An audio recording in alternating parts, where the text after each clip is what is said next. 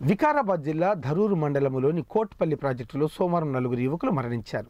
పోలీసుల వివరాల ప్రకారం జిల్లాలోని పూడూరు మండలం మన్నెగూడ గ్రామంలో ఒకే కుటుంబానికి చెందిన బైకాని లోకేష్ బైకాని వెంకటేష్ బైకాని జగదీష్ ఆవుదొడ్డి రాజేష్ తమ కుటుంబ సభ్యులతో కలిసి కారు ఆటోలో సోమవారం కోట్పల్లి ప్రాజెక్టుకు వచ్చారు.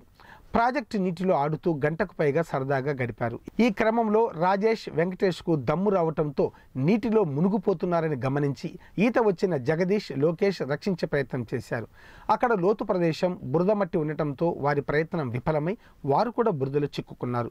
మరో వ్యక్తి కళ్యాణ్ స్థానికులకు తెలిపి గల్లంతైన వారిని స్థానికుల సహాయంతో బయటికి తీశారు.